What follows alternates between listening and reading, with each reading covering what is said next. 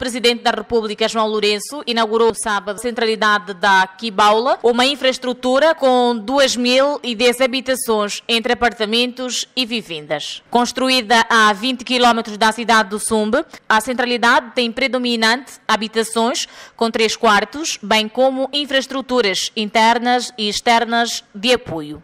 Entre as infraestruturas de apoio sobressaem lojas, escolas, centro infantil, centro médico, áreas de lazer, sistema de captação, tratamento e distribuição de água potável. A estação de tratamento de água tem capacidade para 350 metros cúbicos por hora, um reservatório de 600 metros cúbicos e uma torre de pressão com 200 metros cúbicos.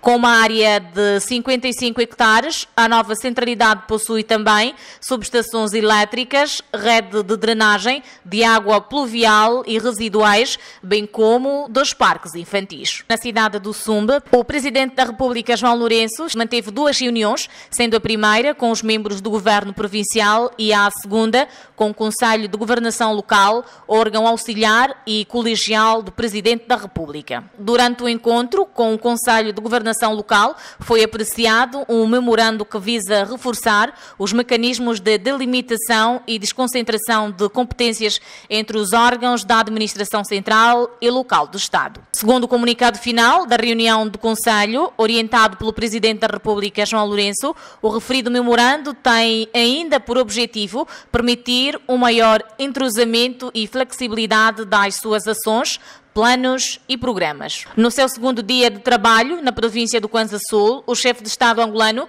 realizou a reunião do Conselho de Auscultação Social e uma visita às obras de um projeto habitacional no bairro Quancra, onde estão a ser edificados 80 mil fogos habitacionais. Acompanhado pela primeira-dama Ana Dias Lourenço, João Lourenço esteve na cidade do Sumbe para uma visita de trabalho de dois dias.